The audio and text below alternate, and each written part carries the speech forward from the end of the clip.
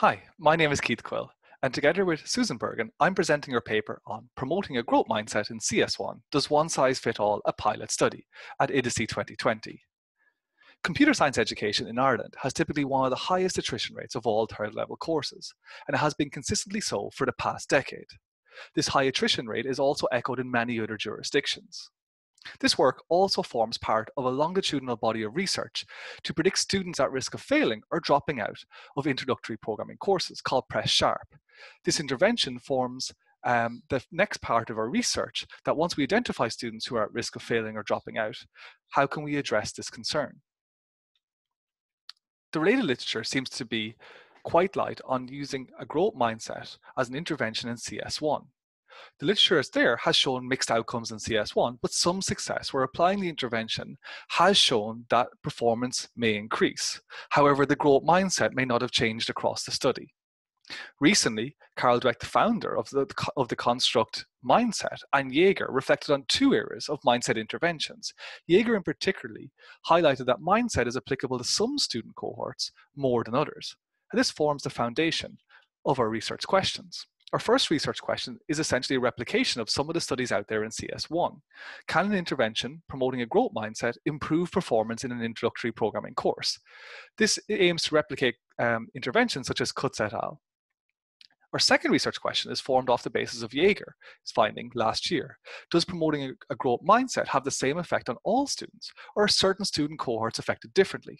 And the authors hypothesized that anecdotally there might be a correlation between mindset or programming self-efficacy, or they might be measuring a similar underlying phenomena or construct. That's just um, an anecdotal hypothesis. Our data collection began in 2016-2017, which forms our intervention group with a sample size of 46 students. This was conducted over two institutions, a university and a community college.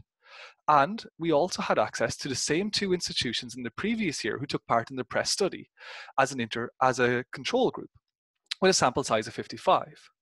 This was the intervention, the survey data was collected across three stages, stage one, stage two, and stage three. Stage one was about four to six hours um, into the introductory programming course. This is when the data was collected for PreSS. So we applied the intervention just after stage one. So we recorded data for both the intervention and control group before the intervention was applied. Stage two is at the end of CS1, and stage three is at the end of the academic year. This paper focuses on the differences between stage one and stage two and performance in introductory programming course.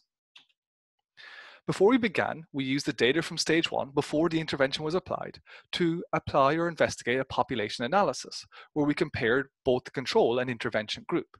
The only statistically significant difference that was found was the gender balance, where in 2015-16, the number of female participants was two, and 2016-2017, the number of female participants was six.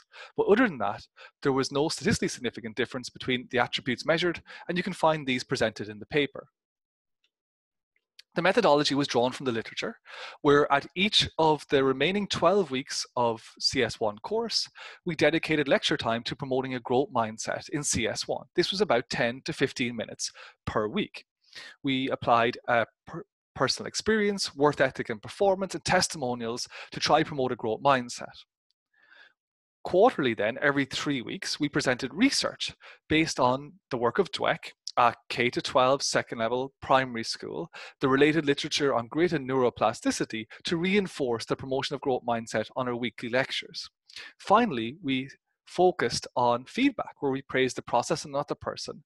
And we really focused on giving detailed and constructive feedback to students for each assessment or assignment in CS1 where students could understand where perhaps they could improve um, their grade the results between um, the intervention and the control cohort, well, the intervention cohort saw a significant increase in performance.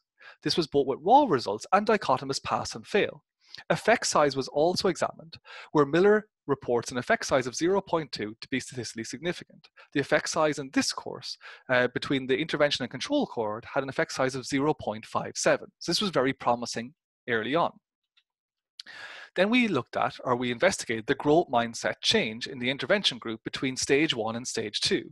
We did see a slight increase towards a growth mindset. This is reported in the literature. but the difference was not statistically significant. And this is what we uh, found in the literature in the literature review, that while performance may have increased, the growth mindset did not change between the start or the end of the course, or in our case, stage one and stage two.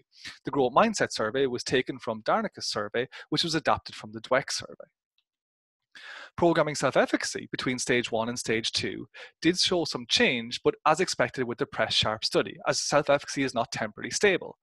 Students with a, a high big uh, initial reporting of self-efficacy reduced. Students with a, a middle range self-efficacy had little change, and students with a low self-efficacy saw their self-efficacy increase. And we know this might be the case where self-efficacy aligns towards the end of the course at stage two. So the results overview, the performance increased, which was very promising. This replicates the study by Cutts et al. And their correlation between mindset and performance was not strong. And this was also found in the literature, of, uh, which reported a Pearson correlation of 0.4. Self-efficacy showed a strong correlation with performance as expected and as reported in the PreSS# study. So to, to, examine the second research question, we next looked at Yeager's reporting that sub-cohorts may be affected differently by mindset intervention.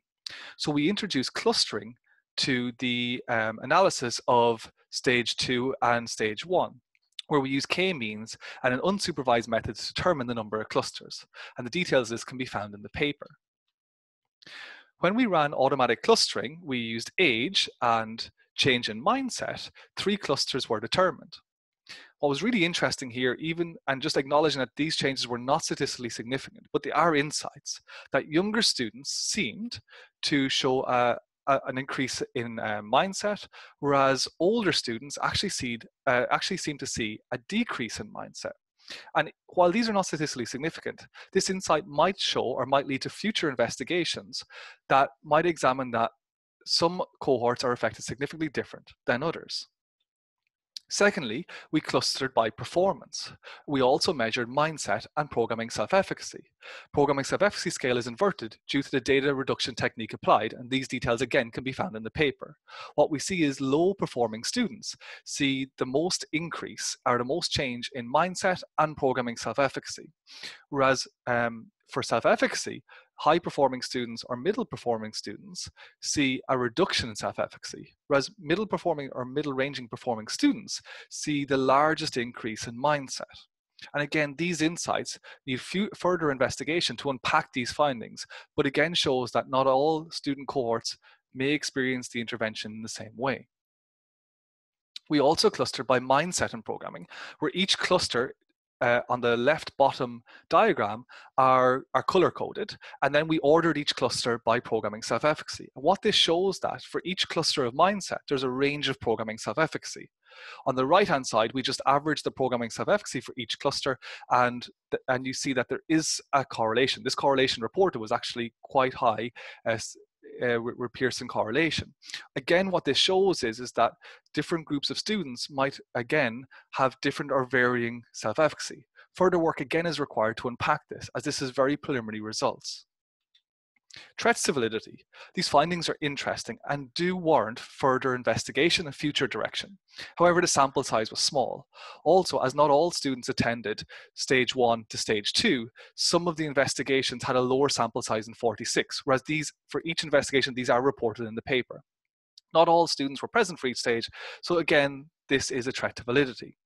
The mindset intervention itself was developmental, and also myself, who delivered both courses in the community college and in the university, I exhibit growth mindset traits, and this may also affect the intervention. However, I was the lecturer for both cohorts for both years.